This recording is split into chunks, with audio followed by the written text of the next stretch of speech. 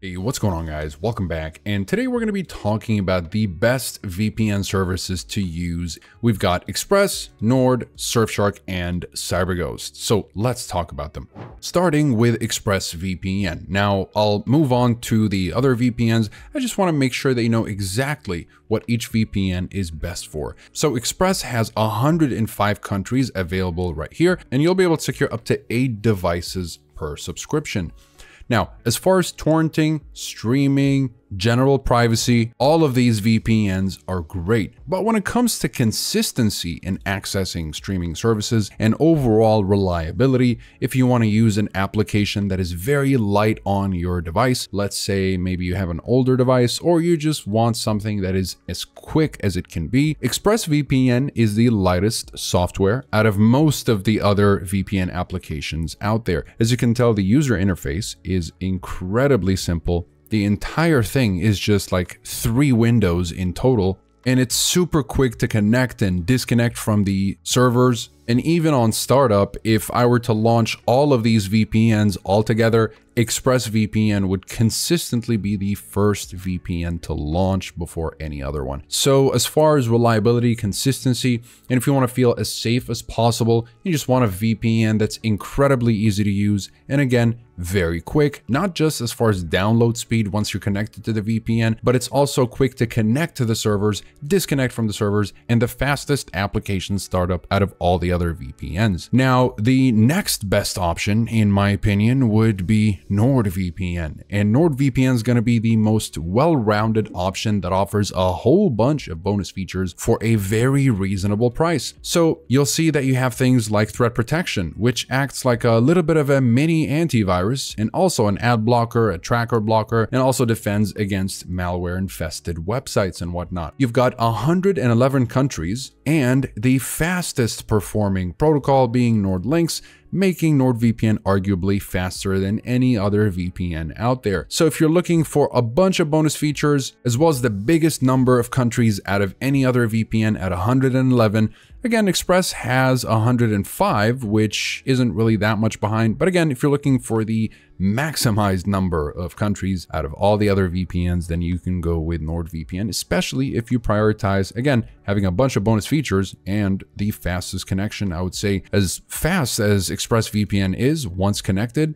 NordVPN is about 5 to 8 or sometimes 10% faster than Express which is again, not that big of a difference, but if you want to maximize your numbers, then yeah, NordVPN would be a great option, especially that it still works really well with streaming and torrenting. Now for the third option, that'll be Surfshark. And Surfshark is going to be the best budget option that gets the job done at the cheapest possible cost without sacrificing any of the necessary security features that you'll be seeing with more expensive VPNs like Express and Nord. Now, if I didn't mention, NordVPN allows for up to 10 devices per subscription, so that's two more than Express. But let's say eight devices are not enough and neither are 10. Maybe you want to secure virtually an unlimited number of devices. Well, this is where Surfshark comes in. You can share it around with as many friends and family members as you would like, or if you have like 10, 20 devices in your home that you want to secure via the VPN, then you can do that very easily with Surfshark because again, it allows for that. And not only are you getting the best budget VPN, but you're getting a lot of value for the money. Remember how I mentioned that with Nord, you're getting a lot of value for the money? Well, Surfshark is actually such a big bang for the buck that even if you go for the one plan, which is considered to be the higher tier plan with Surfshark, it will still be cheaper than NordVPN's cheapest plan, except that with Surfshark, you're getting a fully fledged cybersecurity package, such as identity protection features, a full antivirus, a VPN, and safe search features, and other features that just contribute to your overall cybersecurity. So as far as value for the money, well, you're getting a premium VPN, I would say, for a very low price. Now, if you're looking for something that's even cheaper, and you don't necessarily care about all of the features and whatever bonuses that you're getting with Surfshark or NordVPN. And you just want a VPN that essentially secures your device It keeps it secure and so that nobody is able to know what you're doing online like any other VPN, of course, but it does so reliably with CyberGhost here. And you're still able to access streaming services. You have torrenting dedicated specialty servers and gaming servers as well, not to mention servers that are also optimized for more privacy if you're in a censorship heavy country or something like that. So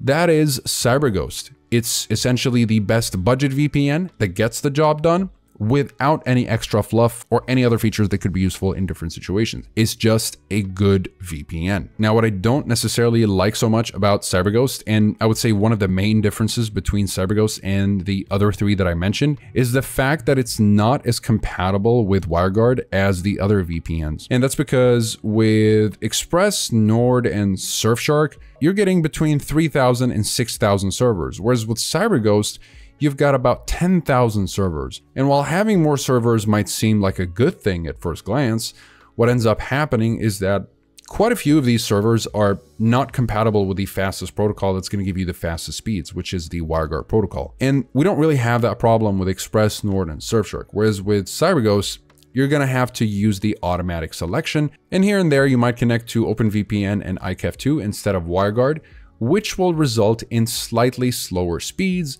so that would be my criticism of CyberGhost. Otherwise, it's honestly a really good VPN for the price. It's definitely the cheapest considering you're not really sacrificing that much on quality and security and performance overall. So these I would say are the top VPNs. Again, for a quick summary, I would go for Express if you're looking for the easiest to use and you just want to feel as safe as possible. And it's just overall very consistent. It works really well. It's light on your device. I think the best analogy to describe ExpressVPN is if Apple made a VPN, it would look like ExpressVPN, that's for sure. So that would be for Express. Now, if you're looking for something that's a bit more well-rounded, it offers a lot of bonus features, and I just can't really see anybody not liking NordVPN, especially once you start using it and you realize how useful it is then yeah, that would be the best option if you're looking for a bunch of bonus features and a VPN that literally just does everything right. Now, if you're looking for the best budget VPN that you can share around with your family and friends, and it still does the job very, very well, like any other premium VPN. And not to mention, of course, that you also get a lot of other cybersecurity tools with the higher tier plan that's still cheaper than most other plans. So that's a huge bang for the buck. If that's what you're looking for, then Surfshark is the perfect choice, honestly. Now, as far as saving even more money, then you can go with CyberGhost, considering that you don't really mind putting up with uh, some server inconsistencies here and there if you're set on using the WireGuard protocol, which again is the fastest protocol. But if you want to have an easier time, just go with the automatic, especially if you're not really that particular about speeds. Otherwise, CyberGhost is a very good VPN. It's very consistent. It works for streaming, torrenting, gaming, privacy, and nobody will know what you're doing online, whether you're using Express, Nord, Surfshark, or CyberGhost in the first place. So as far as security, yeah, they're all great. And again, hopefully this video helped you guys out. If you guys are interested though in individual reviews, you'll find everything you need in the description down below so that you can learn a little bit more about the privacy policy, speed, streaming and torrenting capabilities, and security features. And you'll also find links to pricing and discounts if you want to go straight there. And what I would recommend if you end up getting any of them, let's just demonstrate with Express for the sake of the example, because I did speak with Express and they mentioned that a lot of people end up spending more money on the monthly plan with the higher rate than with the six month or one year plan, because oftentimes they think they're not going to need the VPN for longer than a month, but they end up using it for more than a month and it keeps resubscribing to this very expensive rate, which is honestly a waste of money so if you're looking to save a little bit more in the long term, you probably want to go for something that saves you more in the long term. Unless you know you're not going to need the VPN for more than a month, then yeah, you want to go for something that saves you more. Either way, if you're not satisfied, there is a 30-day money-back guarantee on all the VPNs, not just Express, with the exception of CyberGhost, which has a 45-day money-back guarantee.